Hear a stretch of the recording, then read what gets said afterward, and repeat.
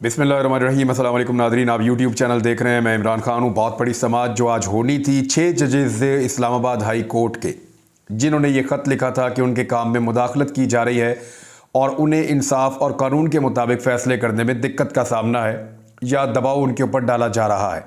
उस दबाव से निकलने के लिए उन्होंने सुप्रीम जुडिशल काउंसिल को लिखा था कि उनकी रहनुमाई की जाए और इससे पहले वो अपने चीफ जस्टिस को भी लिख चुके हैं। इस्लामाबाद हाई कोर्ट के जो चीफ जस्टिस हैं, उन्हें एक साल से वो बता रहे हैं, लेकिन कोई एक्शन नहीं हुआ। उन्होंने इससे पहले जो सबक चीफ जस्टिस ऑफ़ पाकिस्तान है, उनको भी बताया था, कोई एक्शन नहीं हुआ।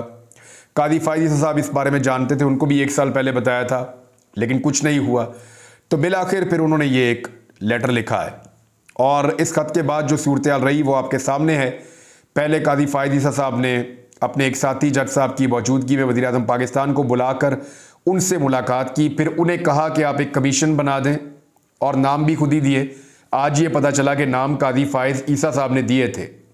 और उनमें से एक नाम फिर काबीना ने फाइनल करके तसदुक जिलानी साहब के नाम के ऊपर इन्होंने इतफाक़ कर लिया और एक कमीशन बना दिया। लेकिन तसदुक जलानी साहब ने उस पर मादरत कर ली। मादरत की मुख्तलिफ़ वजूहत हैं, लेकिन जो मेन वजह उन्होंने बताई उस पर मैं आगे चल कर आज बात करूँगा, क्योंकि आज उस पर बात करना ज़रूरी है। काजी फ़ायदी साहब ने कुछ कहा है, उसके जवाब में मैं आपको वो चीज़ पढ़ के सुनाऊँगा। अब हुआ क्या आज की समात में?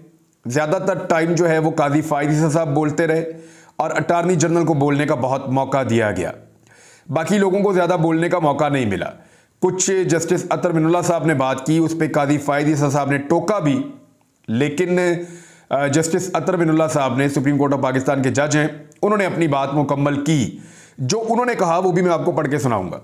लेकिन सबसे पहले आप ये देखें कि कादी फायज ईसा साहब ने इंदिया दे दिया है कि फुल कोर्ट तश्कील दिया जाएगा इस मामले में। जजों का खत बता रहा है कि यह सिलसिला आज भी जारी है। ये जस्टिस अतर मिनुल्ला साहब ने कहा है।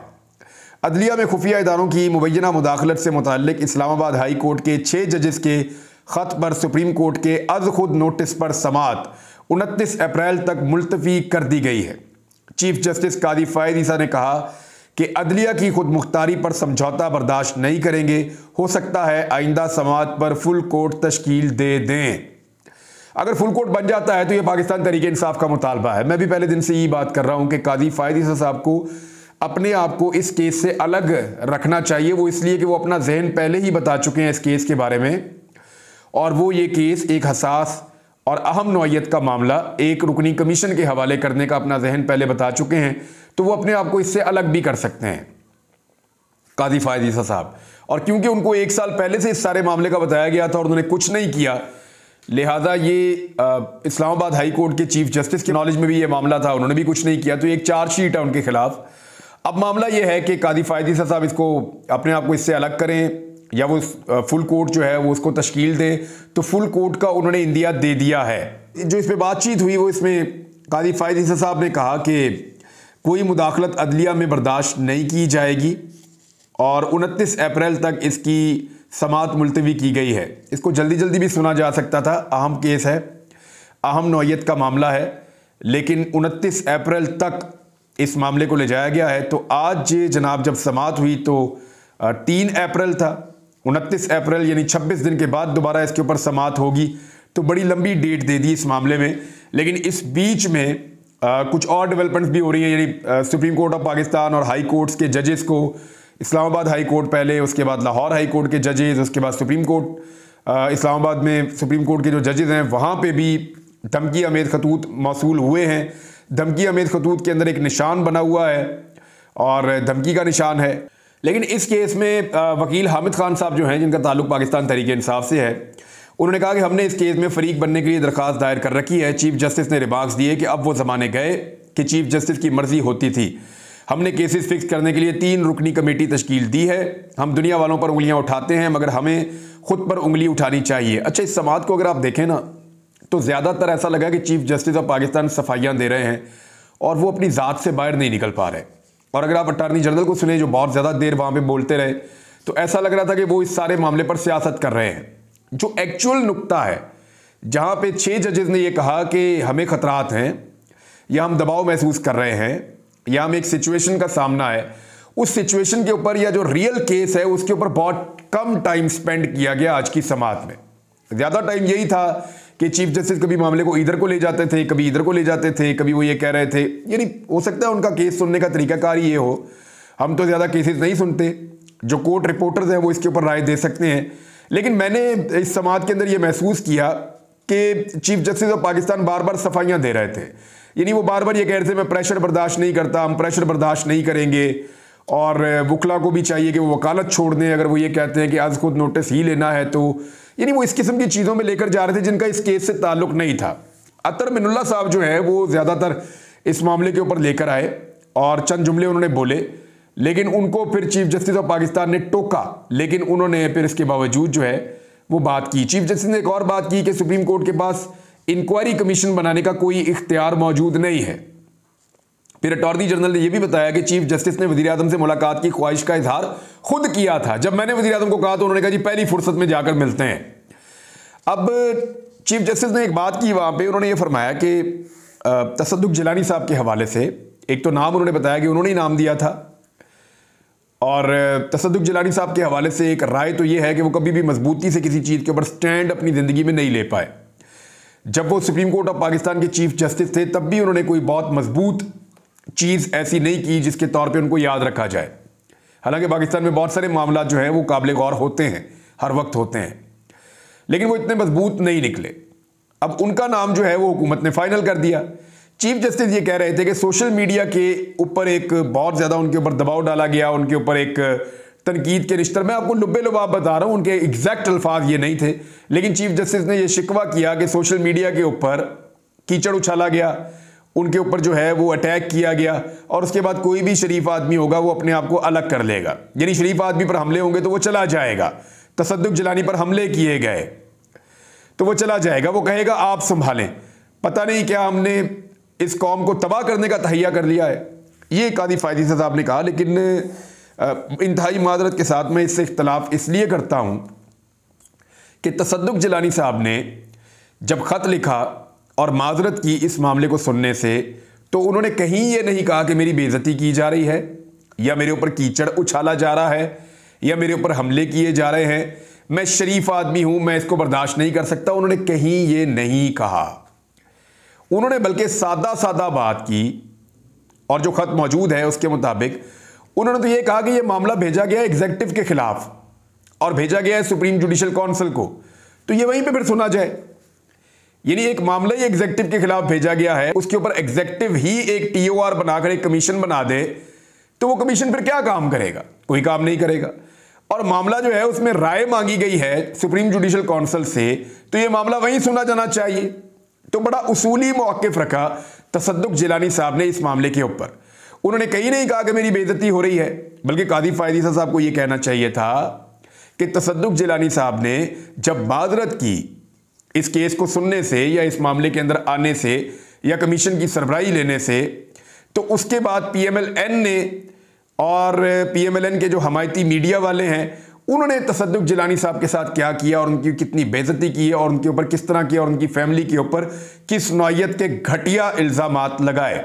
इसके ऊपर तो यानी वो भी इल्ज़ाम लगे हैं, वहाँ पर भी उनके ऊपर हमले हुए हैं। यानी अगर एक समत ने ये हमले किए हैं तसदुक जिलानी साहब कौन होते हैं कि वो आकर इसको सुने?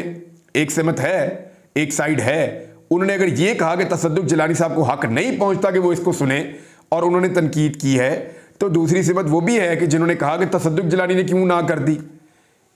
इनकी फैमिली और ये जो है फिर उनके लिए बड़े अजीब अजीब अल्फाज इस्तेमाल किए, उनके ऊपर अटैक किया। तो काजी फायदी साहब को सिर्फ़ एक साइड क्यों नज़र आई? कादी फायदी साहब को सिर्फ़ हमेशा वो साइड नज़र आती है जो मादरत के साथ, जो मौजूदा हुकूमत को सूट करती है। उन्हें वो वाली साइड क्यों नज़र नहीं आती जो मौजूदा हुकूमत को सूट नहीं करती? अतर मिनुल्ला साहब ने जो बातें की हैं, वो बहुत अहम है और उनको जो है वो दिमाग में रखना चाहिए। जस्टिस अतर मिनुल्ला साहब ने अटॉर्नी जनरल से मुकालमे में कहा कि अटॉर्नी जनरल साहब, आपने मिर्ज़ा इफ्तार की बात की। आपने कहा मिर्ज़ा इफ्तार ने चीफ जस्टिस को धमकियाँ दी। क्या आपने ये देखा कि मनतकी अंजाम तक पहुँचा के नहीं? जस्टिस जमाल मंदोखेल का भी कहना था कि अटॉर्नी जनरल साहब एक रेफरेंस दायर हुआ। जिस पर इस वक्त के वजी अजम ने तस्लीम किया कि गलती थी, इस पर क्या कार्रवाई हो? जस्टिस अतर मनल्ला साहब ने सरकार को आड़े हाथों लिया और रिमार्क्स दिए कि सुप्रीम कोर्ट ने जमानत दी और इस फैसले को हवा में उड़ा दिया गया। छिहत्तर साल से यही हो रहा है। छह जजों के खतूत भी इसी तर्ज की जानब इशारा कर रहे हैं। यानी सुप्रीम कोर्ट ऑफ़ पाकिस्तान बंदा छोड़ती है और बार ये जो है वो एम का बहाना लगा के बंदा दोबारा उठा लेते हैं। तो ये जजेस ने वहाँ पर एतराज़ किया है। जस्टिस नईम अख्तर अफगान ने रिमार्क्स दिए कि हुकूमत एमपीओ का सहारा लेकर अदालती फैसलों के खिलाफ वर्जी कर रही है। जस्टिस अतरमुल्ला साहब ने मजीद कहा, और ये बड़े सख्त रिमार्क्स थे उनके। उन्होंने कहा कि बातें सब करते हैं, काम कोई नहीं करना चाहता। आपकी हुकूमत केस को मनतकी अंजाम तक ले गई होती तो आप बात करते। सब जानते हैं कि क्या हो रहा है, लेकिन तासुर ये दे रहे हैं जैसे कुछ हो ही नहीं रहा। यहाँ खड़े होकर कैसे बयान दे सकते हैं? इस पर चीफ जस्टिस ने कहा कि यह बात मेरे मुतालिक है, नहीं चाहता तासुर जाए कि दबाव डाल रहा हूँ। जस्टिस अतर मिनुल्ला ने कहा कि मुझे बात पूरी करने दें। अटॉर्नी जनरल, आपने दुरुस्त कहा, सियासी इंजीनियरिंग होती रही है। जजों का खत बता रहा है यह सिलसिला आज भी जारी है। एक चीज़ और जो सुप्रीम कोर्ट ऑफ़ पाकिस्तान ने कही, उन्होंने कहा, चीफ जस्टिस ने, कि कुछ जजेस जो हैं, वो दूसरे शहरों में मौजूद हैं और ईद की छुट्टियों के बाद हम आएँगे और फिर आकर एक फुल कोर्ट हम बना सकते हैं। और फिर रोज़ाना की बुनियाद पर समाप्त करके इस केस को निपटाएँगे। लेकिन तारीख बहुत लंबी चलेगी, मैंने आपको पहले बताया। ये तारीख चलेगी उनतीस या तीस अप्रैल तक उन्होंने इंडिया दिया है, लेकिन उनतीस तारीख की वैसे डेट है। अच्छा अदालत में कुछ ऐसी चीज़ें भी हुई जो लाइव कवरेज की वजह से पब्लिक के सामने आ गई। इसमें एक क्लिप ऐसा है जिसमें अटॉर्नी जनरल जो हैं, वो बार के सदर जो है, सुप्रीम कोर्ट बार के सदर का हाथ दबा रहे हैं। यानी ये तो कैसे हो सकता है, वो एक तरफ़ से आए हैं। वो जजिस की नुमाइंदगी और अदलिया की नुमाइंदगी करना चाहते हैं, अटॉर्नी जनरल हुकूमत की नुमाइंदगी करना चाहते हैं, लेकिन एक दूसरे का हाथ दबाकर, एक दूसरे को इशारे कर कर ये साबित कर रहे हैं कि जैसे कोई गठ जोड़ है, कोई मैच फिक्स किया हुआ है इन्होंने। और ये क्लिप जो है, इसने पूरा का पूरा गठ जोड़ बेनकाब कर दिया है। लोग इसके ऊपर बहुत तनकीद कर रहे हैं। और इंतज़ार हुसैन पंजूथा साहब ने कहा कि इस एक क्लिप में आप पाकिस्तान के सबसे बड़े आईनी जज का आईनी कुर्सी पर बोले जाने वाला झूठ देख और सुन सकते हैं। वो अटॉर्नी जनरल और सुप्रीम कोर्ट को कहते हैं कि इसका जवाब मैं दूँगा। कहीं ये ना लगे कि मैं आप पर प्रेशर डाल रहा हूँ। और अटॉर्नी जनरल ने सुप्रीम कोर्ट बार के सदर का हाथ दबाकर इस गठजोड़ का कच्चा छट्टा खोल दिया है। इससे वाजे कुछ हो ही नहीं सकता। ये इंतज़ार हुसैन पंजूथा साहब ने कहा है। एक और नुकता भी उठाया गया है, वो ये है कि पटिशन दायर होने से कबल ही अखबारों में शाया हो जाती है। ये कोई तरीका नहीं। तो चीफ जस्टिस साहब ने यह नुकता उठाया। लेकिन अगर आप गौर करें तो चंद साल पहले या चंद महीनों पहले इसी तरह ख़त लीक हुआ करते थे और कादी फ़ायज़ ईसा साहब जो भी लिखते थे वो पहले लीक हो जाया करता था। अगर ये मामला आज उन्हें गलत लग रहा है तो ये कल भी ठीक नहीं था। तो नादिन मुझे अभी भी लगता है कि फुल कोर्ट बनेगा तो ये मामला किसी मनतकी अंजाम की तरफ़ बढ़ेगा और अदलिया की आज़ादी जो है वो सबसे ज़रूरी है। जिस मुल्क में अदलिया आज़ाद हो रूल ऑफ़ लॉ हो, वो मुल्क आगे बढ़ जाते हैं शदीद तरीन मसाइल के बावजूद। लेकिन जहाँ पे रूल ऑफ़ लॉ नहीं होगा, उन मुल्कों का आगे बढ़ना आसान नहीं होता। क्योंकि लोग कानून के ऊपर भरोसा नहीं करते, लोगों को कॉन्फिडेंस नहीं आता। जब लोगों को एतबार नहीं आता तो फिर लोग इन्वेस्ट नहीं करते, लोग कोशिश नहीं करते, और उससे बेचैनी बढ़ती है मुल्क में।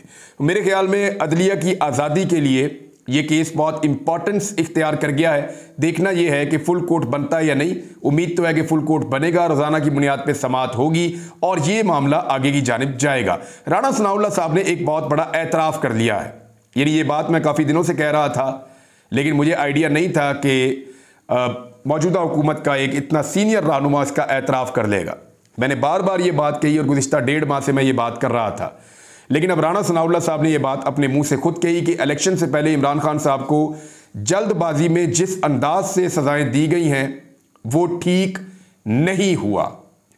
यानी उसमें बहुत ज़्यादा गलतियाँ थी, उसमें बहुत ज़्यादा कबाहतें थी, उसमें बहुत ज़्यादा उजलत और जल्दबाजी थी। मैं पहले ये कह चुका हूँ।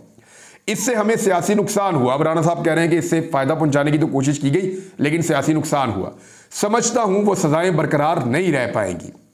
जिस जज के पास भी ये केस जाएँगे, अगर उस जज ने इंसाफ से काम लिया तो वो इमरान खान को बरी कर देगा या रिमांड बैक कर देगा।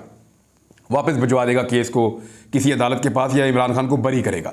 मैंने भी आपसे यही कहा कि इसमें कोई और रास्ता मौजूद नहीं है। साइफर केस का बहुत बुरा हाल हुआ है, लेकिन राना सनाउल्ला साहब ने एक और बात की, वो मैं चाहूँगा आपको सुनाऊँ इस वीलॉग में मोहसिन नकवी के बारे में। उन्होंने कहा कि मोहसिन नकवी की मेहरबानी है कि वो वज़ी दाखिला रहने के ऊपर इतफ़ा कर गए और उन्होंने वज़ी दाखिला रहना पसंद किया। अगर वो चाहते तो वज़ी अजम पाकिस्तान भी बन सकते थे। यहाँ से आप अंदाज़ा करें कि जो इस वक्त हुक्मरान जमात है, वो कितनी बेबस है। उनके इख्तियार में कुछ नहीं है। नवाज़ शरीफ साहब बिला वजह नहीं रो पीट रहे और शहबाज शरीफ साहब जो है, वो बिल्कुल बे इख्तियार किस्म के एक वज़ी अजम हैं। बेचारे के पास थोड़े से इख्तियार हैं। देखना यह है कि वो अपने इख्तियार को किस हद तक इस्तेमाल कर सकते हैं या उन्हें इख्तियार किस हद तक इस्तेमाल करने दिए जाते हैं। लेकिन बड़ा इंटरेस्टिंग टाइम आगे आ रहा है। ईद के बाद एक तहरीक शुरू होने जा रही है। छः जमातें मिल गई हैं। कुछ और जमातों से रबते हो रहे हैं और इमरान खान साहब के केसेस ख़त्म हो रहे हैं। अदलिया अपने ऊपर से प्रेशर को उतार रही है। इन सारी चीज़ों को जब आप इकट्ठा करके देखें और फिर उस फ्रस्ट्रेशन को देखें जो पीएमएलएन के हमायतियों के ट्वीट्स में आपको नज़र आ रही हैं। या इस वक्त जो हुकूमत है, उसके जितने भी सहूलतकार या उस हुकूमत के साथ जुड़े हुए जितने लोग हैं, उन सबको अगर आप गौर से देखें, उनकी बॉडी लैंग्वेज देखें, उनकी बातचीत को सुने, उनके लिखे हुए ट्वीट्स को और तहरीरों को आप पढ़ें तो आपको आइडिया हो जाएगा, उनकी फ्रस्ट्रेशन आपको ये बताएगी कि मामला उनके हाथ से फिसलता जा रहा है। अब तक के लिए इतनी अपना ख्याल रखिएगा अपने चैनल का भी। अल्लाह हाफिज़।